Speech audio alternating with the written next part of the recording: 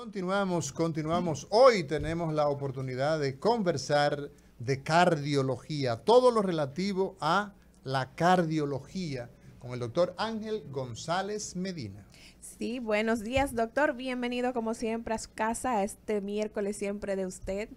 Buenos días, Lisania. Un placer de nuevo estar por aquí en esta mañana y obviamente siempre con el gusto y la satisfacción de compartir con este equipo maravilloso que ya no somos simplemente amigos, sino hermanos. Así mismo. Doctor Roberto Lafontaine, doctor Amaury García y doctor Nelson uh, Rodríguez. No, que, vi, que vino, que vino a hablar con usted. Claro. ah, eso está bien. Qué bueno.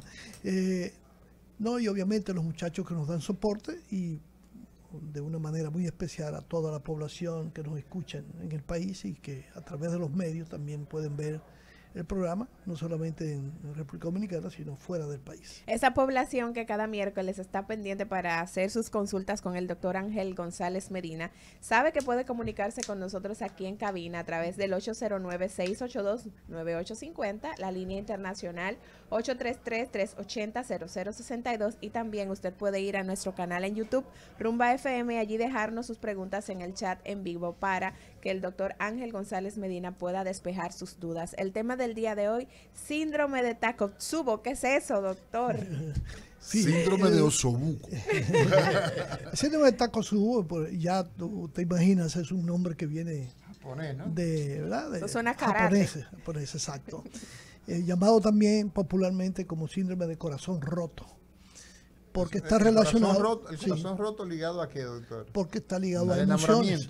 Una, esa es una. Pero también hay muchas motivaciones o razones para que pueda ocurrir. Es, eh, más bien es una afección del músculo miocárdico. Eh, algunos no lo. Pero ya las, las nuevas guías plantean que es una miocardiopatía que puede ser transitoria o que puede quedarse con un defecto crónico. Aunque lo más común es que tenga un comportamiento benigno. Y esto se debe precisamente a que ocurre de manera repentina o súbita como consecuencia de un estrés emocional o físico. Y esto puede estar relacionado hasta con la muerte de un ser querido, eh, ganar un premio, eh, tener una noticia desagradable de algún diagnóstico médico que pueda ser impactante para esa persona, eso lo hemos visto, como hay personas que con una información que se le ha dado, sobre todo en la cultura nuestra, de que tiene un cáncer o tiene una enfermedad que no es curable y que, que tiene un pronóstico sombrío, eso implicaría que tenga una gran sobrecarga, una gran liberación de sustancias uh, relacionadas con con una sobreactividad del sistema nervioso simpático, especialmente catecolaminas o adrenalina, eh, y otras sustancias que se pueden liberar, como las llamadas endotelinas, que también se ha demostrado en, estudios de biopsia, no solamente a nivel miocárdico, sino a nivel cerebral, porque esto tiene que ver también con, con otros trastornos, como veremos más adelante. Y esto provoca un daño eh, que se podría decir como un aturdimiento de miocardio. Es como si cuando usted le, diera, da un palo sobre un brazo y eso se queda no solamente adolorido, sino adormido. Y se comporta, desgraciadamente, como si fuera un infarto. Por eso es una condición que puede ser infradiagnosticada, es decir, subdiagnosticada porque se comporta como un infarto en la gran mayoría de los casos, con cambios en el electrocardiograma, con un dolor torácico generalmente en el 75% de los pacientes, y llegan a la emergencia con un dolor en el pecho, encontramos cambios en el electrocardiograma e inclusive en las enzimas cardíacas que son parte del diagnóstico de un infarto. Y esto hace que con mucha frecuencia se trate con infarto, yo diría que, casi siempre se trata como un infarto, y solamente horas después o días después, ah, si se insiste en demostrar que se trata de un infarto, dependiendo de la evolución, porque hay una respuesta de mejoría a veces rápido, entonces llega a la conclusión de que realmente se trata de un síndrome de Takotsubo como consecuencia de una vasocontrición severa que se produce sobre todo no solamente en los grandes vasos las arterias coronarias, sino en la microcirculación. Y esto está comprobado porque se ha visto los cambios que se producen a nivel de, los, de las células cardíacas y, una respuesta que tiene el organismo para defenderse también al mismo tiempo. De tal manera que eh, esta condición, que es poco frecuente, aunque en el, tiempo se está haciendo cada vez más presente, debido a que está relacionada con algunos factores de riesgo, como, como vamos a mencionar dentro de poco. Y esto implica que ah, haya una preocupación cada vez en pensar en este posible diagnóstico. Ah, el gran problema es que es más frecuente en las mujeres menopáusicas o posmenopáusicas.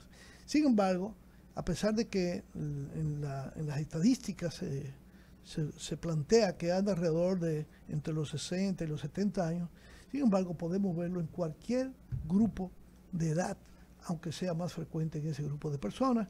95% se plantea que es afectación en la mujer, 90-95% aunque en el hombre también ocurre. Y por supuesto, mujeres posmenopáusicas. Se considera inclusive que los estrógenos, la pérdida de estrógenos, eh, es una exposición o las expone a esa respuesta, ya cuando hablemos de factores de riesgo o de factores que pudieran ser causales. El, eh, es, es, más bien un planteamiento de que el estrógeno, tú sabes que a veces se comporta como una sustancia vasodilatadora, aunque tiene otros efectos que pueden ser nocivos. Y cuando desaparece entonces, pues ese efecto se pierde. el efecto se pierde y hay una respuesta más excesiva en estos casos. En, términos de frecuencia, doctor, sí. Eh, eh, ¿cuán frecuente es esta enfermedad? Mira, no es tan frecuente. No es tan frecuente, el, inclusive en las poblaciones hispanas en, en Estados Unidos y afroamericanos es menos frecuente que en los pacientes de raza blanca. Sin embargo, esto fue una patología que se descubrió y se describió por primera vez en Japón. Y su nombre se debe a que takosubo es una vasija o recipiente que utilizan los pescadores japoneses para atrapar pulpos. Entonces, debido a que se produce un abombamiento, como tiene esta, esta herramienta, un abombamiento en la parte media y la punta del corazón, con un estrechamiento en la parte basal, que le da esa característica parecida a esta vasija, trajo como consecuencia que se le designara con ese nombre. Por supuesto, la enfermedad no es tan benigna como se pensaba antes, en la medida que se ha ido conociendo, se ha ido evaluando. Sabemos que por lo menos puede causar un 5% de mortalidad de todos los casos y que puede desarrollarse complicaciones que pueden cronificarse, como es el caso de la insuficiencia cardíaca, si no hay un, un diagnóstico y un manejo adecuado tempranamente. Doctor, una pregunta. Clínicamente, ¿cómo se diferencia un infarto de ese síndrome? Sí, es difícil. El diagnóstico diferencial no es tan fácil porque la presentación generalmente es muy similar. Dolor torácico en la mayoría de los casos, con la presencia de cambios en el electrocardiograma que apuntan a que el paciente tiene un infarto. Entonces, obviamente, desde que tú ves eso, tratar al paciente como un infarto. Claro, en las próximas horas, generalmente los pacientes tienen una buena evolución y vamos a tener que recurrir a otras herramientas diagnósticas, que es donde generalmente se hace el diagnóstico. Se considera que en la gran mayoría de los casos, eh, la sospecha es tardía y el diagnóstico se hace cuando tú haces el estudio de las arterias coronarias y cuando se pinta al ventrículo, es decir, se hace la ventriculografía, donde se puede demostrar que las coronarias están sanas, que son normales. Pero hay, hay elevación del segmento, del segmento ST, hay elevación de las, de las enzimas cardíacas. Correcto.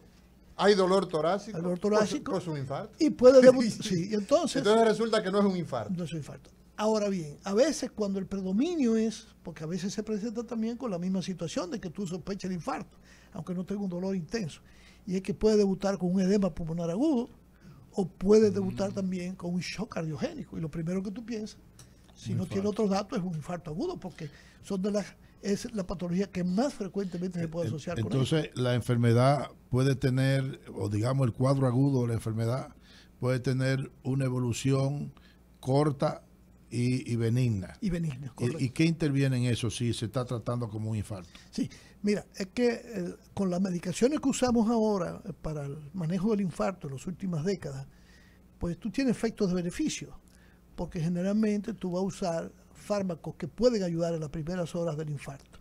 Hay medicamentos que es para evitar eh, el daño del miocardio que lo usamos en el infarto. Entonces eso, eso va a tener un efecto positivo.